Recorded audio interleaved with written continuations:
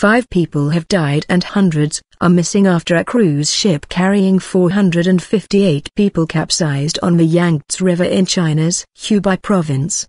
Officials say at least 15 people survived, with some found alive inside the submerged hull of the Eastern Star. The captain and the chief engineer, who both survived, have been detained. They say the boat was caught in a cyclone. The boat sent no emergency signal, with the alarm reportedly raised by those who had swum to shore. Other reports said the crew of another vessel alerted the authorities after rescuing the captain from the water. Chinese media quoted the captain as saying the vessel sank within minutes, while many people were asleep.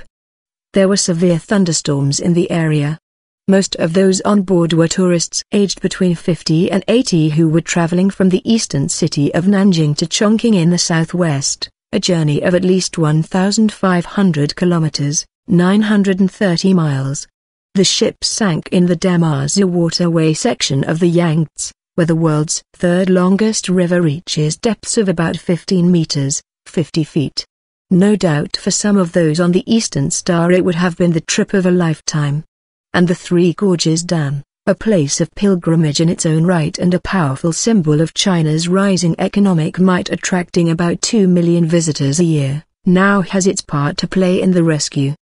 The dam's engineers have been ordered to reduce the water volume flowing through the giant turbines. The sinking of the Eastern Star will resonate widely. A boat full of everyday Chinese tourists, from grandmothers and grandfathers down to the youngest listed passenger at just three years old, has been lost in the waters of the country's best-loved river.